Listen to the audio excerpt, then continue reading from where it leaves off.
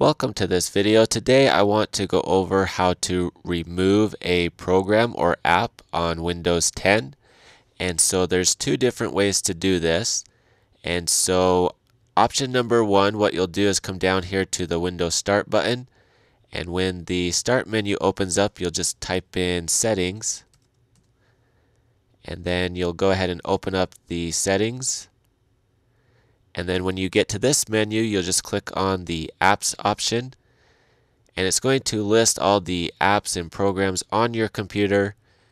When you find one that you want to remove, you just click on it and it will give you an uninstall button to go ahead and remove it.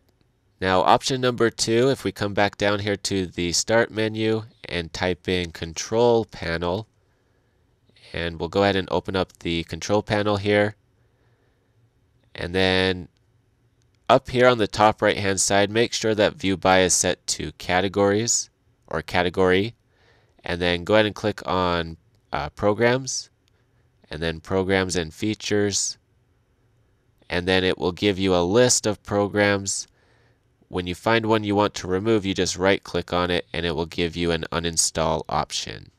Now one thing I do want to point out, if I put both of these menus side by side, you'll notice that some apps do not show up in the control panel but do show up over here on the left underneath the settings option and so I would recommend using the settings option first but just to make sure you've gotten everything off of the computer just double check both menus and that way you can make sure that you removed everything that you want to remove or uninstall.